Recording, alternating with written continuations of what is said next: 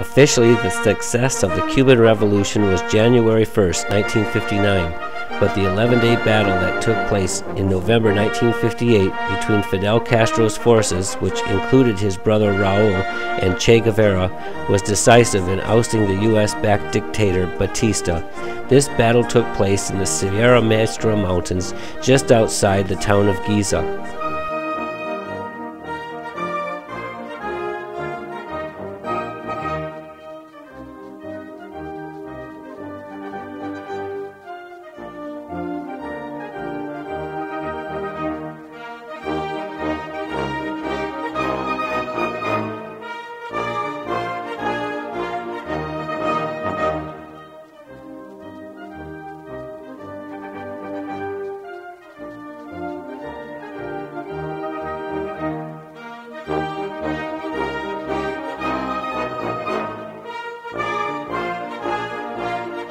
Fidel came back to Cuba, landing in the Sierra Maestras from his exile in Mexico in an old American yacht called the Granma.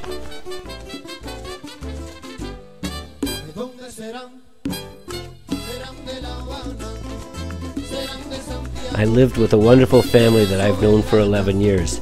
Junior was only 19 years old when I first met him. He's now 30 and teaches English at the university in Havana.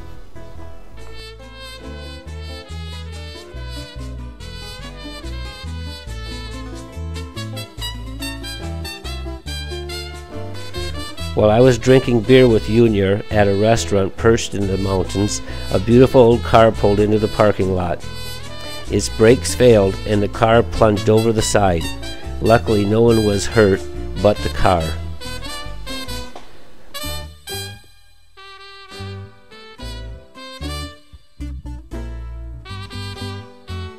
Global warming has created drought in Cuba. This is supposed to be its heavy rainy season, but fires are seen frequently, and the people battle fires like this one on a daily basis. These five men passed information from Miami to Havana and are presently languishing in a U.S. prison. In Cuba, they are viewed as heroes.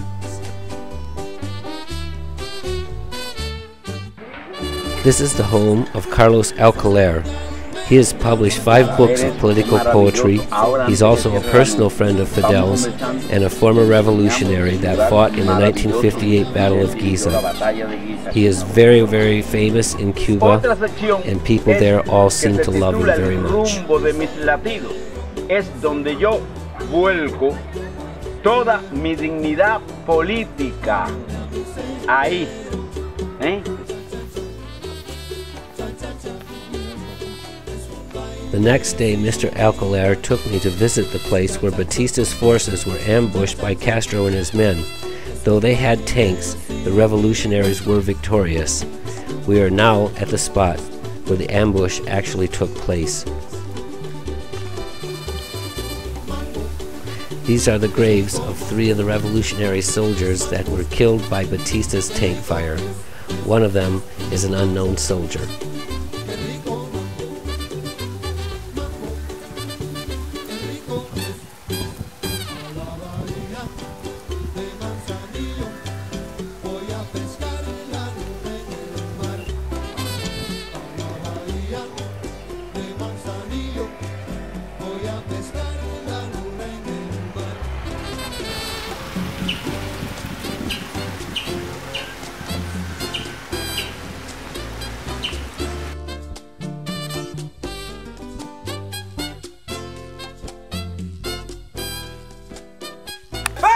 Carlos Alcoler then took us to another place in the mountains where Fidel had his command post. It was strategically important and had a huge cave which was used by the revolutionaries. Later, it became a hospital for wounded soldiers. Here Alcoler poses in front of a plaque commemorating this historic spot.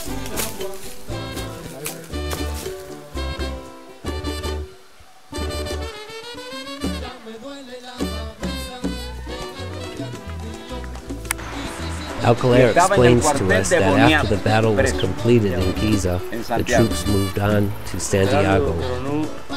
From there, they moved into Havana, like Batista, long gone by air. Columbus called this mountain Silla de Gibara because it's shaped like a horse saddle. On our way back to the resort, we came across a very large convoy filled with soldiers and machine guns. They weren't allowed to let anyone pass them. It was a long drive home.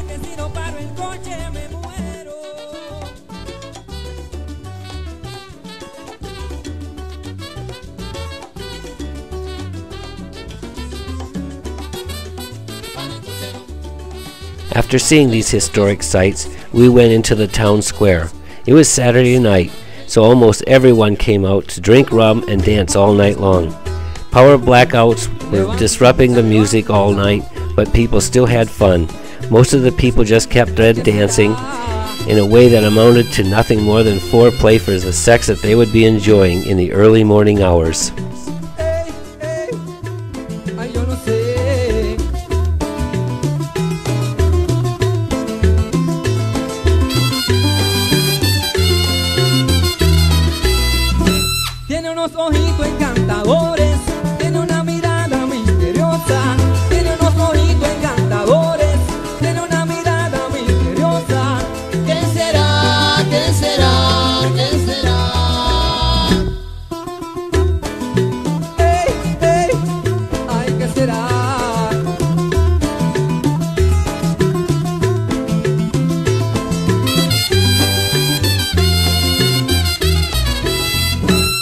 Unos ojitos encantadores,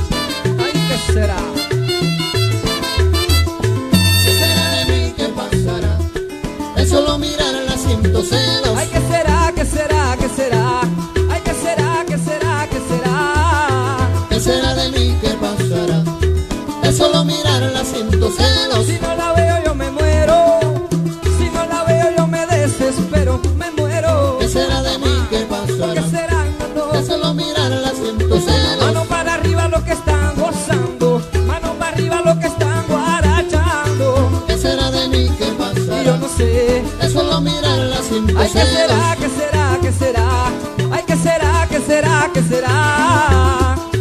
¿Qué será? De mí? ¿Qué pasará? Es solo mirar el asiento celos. Levanta, levanta. Camínalo. Ahí nada más. Ay, yo no sé.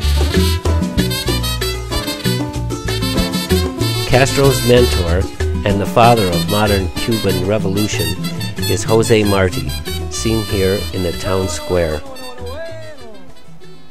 As you know, we have the full power in Cuba. Revolution destroyed all the enemy army after a hard fight. And when we took the power, which were our systems? Free press to everybody,